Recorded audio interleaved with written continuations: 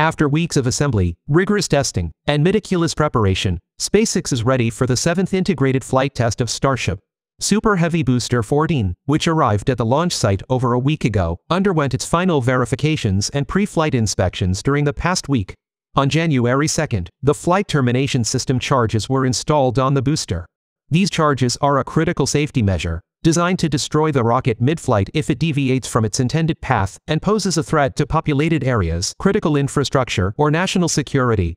Earlier this week, the hot stage ring on Booster 14 was temporarily removed to allow engineers to perform detailed inspections and verification on the forward dome. This section of the booster houses key components, including the grid fin actuators, battery packs, and essential plumbing systems. After the necessary checks and adjustments were completed, the hot stage ring was reinstalled, signaling the readiness for integration with the upper stage. After completing all the final checkouts, inspections, and system integration, Starship 33 was rolled out to the launch site on Thursday morning. Upon arrival, it was carefully lifted and placed atop Booster 14, marking the first full stack of a Block 2 Starship configuration. Following this, the teams immediately initiated preparations for the wet dress rehearsal, Conducted on Friday afternoon, the test simulated a launch day scenario by fully loading propellants into the rocket and performing a launch countdown rehearsal, excluding the ignition of the engines. The test validated the functionality of the entire fueling system, confirmed proper pressure levels in the tanks, and ensured that the fire suppression systems and other safety measures were operating correctly. Additionally, the test provided critical data on the rocket's behavior when fully fueled, including how it responds to varying temperatures, pressures, and environmental conditions. Following the wet dress rehearsal, teams proceeded to destack Ship 33 from Booster 14 to conduct thorough checks and inspections. Special attention was given to the ship's heat tiles to ensure their integrity, while the booster's vents, critical for managing pressure within the propellant tanks, underwent detailed examination and minor maintenance. SpaceX initially scheduled Flight 7 for Monday, January 13th. However, following the vehicle destack, the company revised its schedule, postponing the launch to January 15th.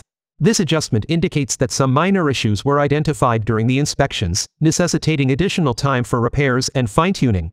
Hopefully, these challenges will be addressed promptly, ensuring everything is ready for a successful liftoff on Wednesday.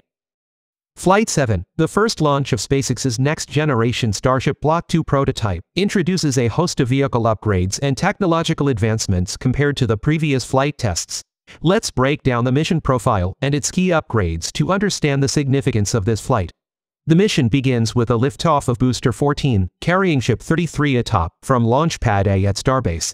SpaceX revealed that an engine from Flight 5 Booster 12 will be reused on Booster 14, marking the first reuse of a flight-proven Raptor engine.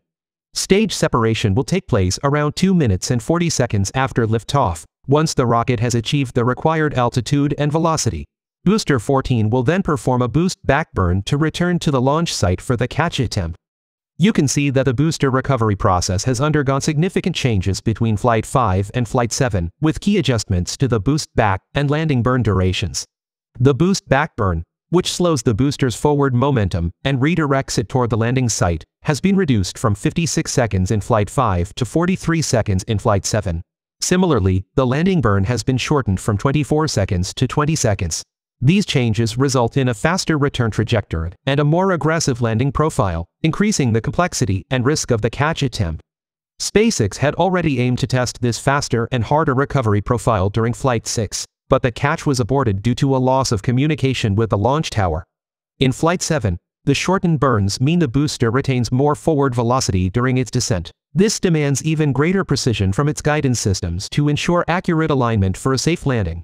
The faster descent also challenges the catch arms, which must operate under increased stress and tighter timing, testing their ability to function flawlessly under more demanding conditions. Additionally, the shorter burn durations subject the booster and engines to increased stress, testing their structural integrity as they must deliver higher thrust levels within a condensed time frame. Altogether, by experimenting with these varied and aggressive descent profiles, SpaceX collects invaluable data on the booster's aerodynamic behavior, thermal loads, and structural resilience, as well as the precision and reliability of the catch mechanism during high-speed recovery operations. These insights are critical for refining SpaceX's recovery systems, ensuring they are robust enough to handle even more challenging scenarios in the future. This faster descent and catch of the booster also align with SpaceX's long-term plans to catch Starship with the same tower arms, given that the Starship will be returning from orbit at a much higher velocity than the booster. Successfully catching the booster at these speeds provides valuable experience and data to fine-tune the catch mechanism, ensuring the arms can handle the even greater velocities of Starship's return. For Flight 7, SpaceX has introduced several enhancements to the tower hardware and implemented new reliability protocols to prevent issues like the catch abort experienced during Flight 6. The tower arms now feature upgraded protections for their sensors, ensuring they can withstand the intense conditions generated during launch. Additionally, improved radar systems have been installed to enhance accuracy in detecting distances between the returning booster and the tower arms, to ensure safety, the booster will only attempt to return and catch if all systems are functioning properly, and the flight director manually authorizes the procedure. If conditions are unfavorable, the booster will default to a soft splashdown in the Gulf of Mexico. Following stage separation, Ship 33 will continue on a suborbital trajectory to conduct several critical in-flight tests. A single Raptor engine will be reignited in space to evaluate in-flight engine performance and reignition capability. A similar test was conducted on Flight 6, providing valuable data for engine reliability and operational flexibility. While in space, Ship 33 will also perform Starship's first payload deployment test by releasing 10 Starlink simulators. These simulators, which replicate the size and weight of next-generation Starlink satellites, were loaded into the ship's payload bay prior to its rollout to the launch pad. This marks a significant milestone in validating Starship's payload deployment capabilities setting the stage for future missions involving Starlink Gen 3 satellites. Following a suborbital trajectory, Ship 33 will aim for a controlled splashdown in the Indian Ocean, concluding its journey with valuable data on vehicle performance, reusability, and mission capabilities.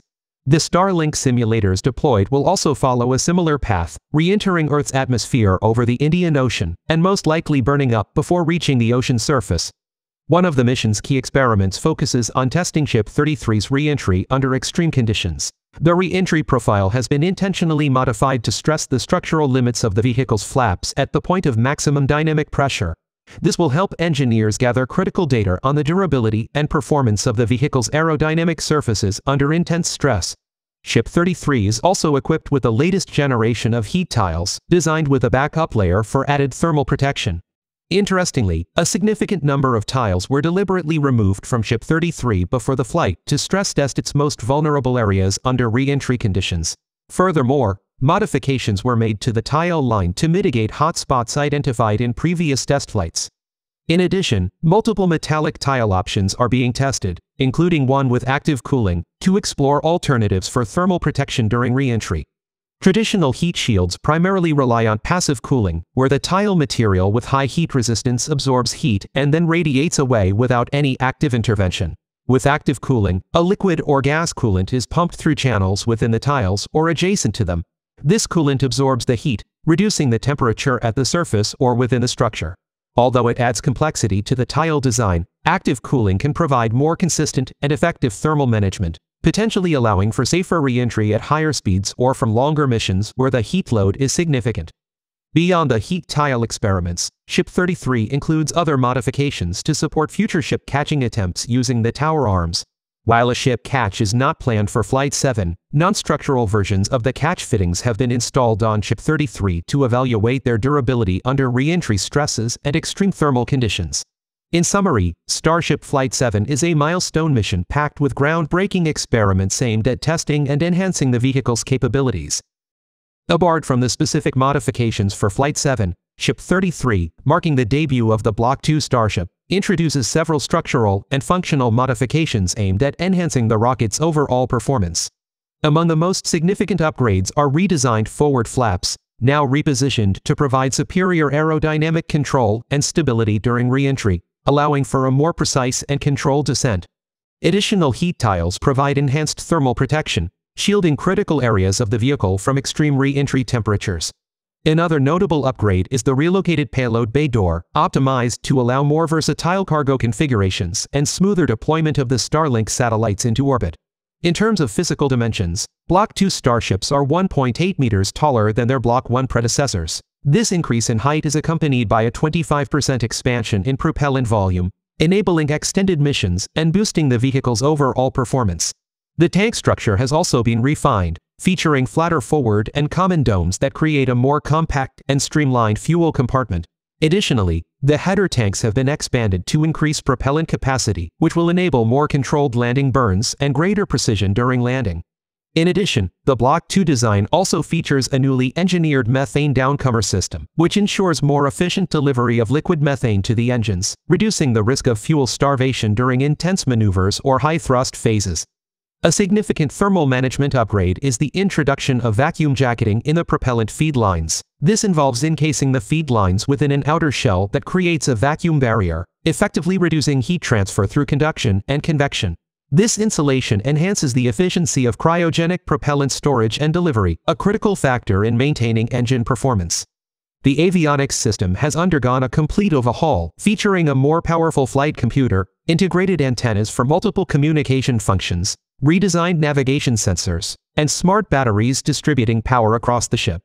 To enhance durability, SpaceX has focused on strengthening the welds through advanced techniques and has strategically placed smaller, heat-resistant tiles on the windward side to protect critical weld areas from the intense heat of re-entry. Collectively, all these design improvements significantly enhance the Block 2 Starship's performance, reliability, and versatility. Flight 7 serves as the first real-world test of these upgrades, and the data collected during this mission will be instrumental in refining the vehicle's design. Thank you for tuning in to this week's episode. If you enjoyed this video, please hit the like button, leave a comment, and share it with your friends. Also, don't forget to subscribe to the channel and turn on notifications so you never miss an episode.